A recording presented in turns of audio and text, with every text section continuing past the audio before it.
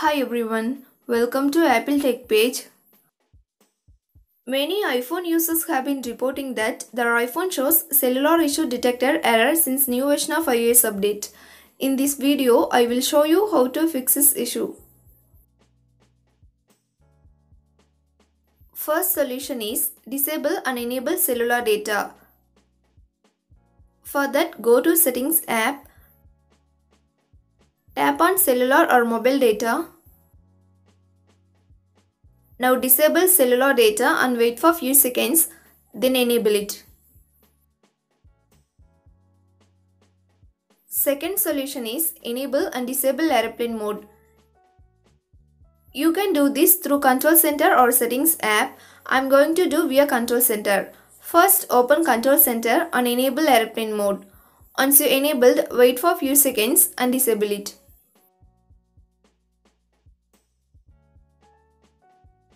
Third solution is remove and reinsert the SIM card. First, turn off your device and take out your SIM card from the tray. Wait for a few seconds and reinsert it. Then check problem has been solved or not. Solution 4 is first restart your iPhone. If you are using iPhone 8, 10, 11, 12 and 13 series and iPhone SE second generation, do the following steps. Quickly press and release the volume up button. Next, quickly press and release the volume down button. Finally, press and hold the side or power button until you see the Apple logo. If you are using iPhone 7 and 7 Plus, do the following steps.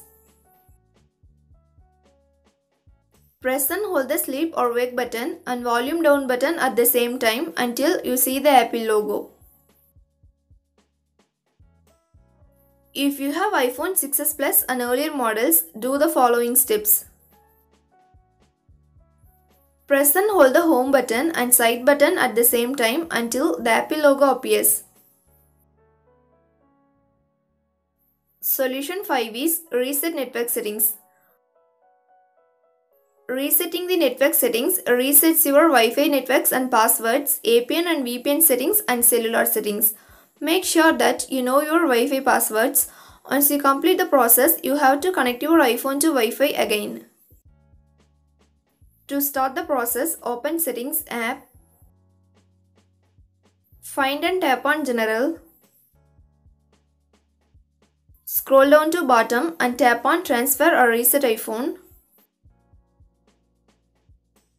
Here, tap on Reset. Select Reset Network Settings. Next, enter the passcode of your iPhone. Tap Reset Network Settings to confirm the process.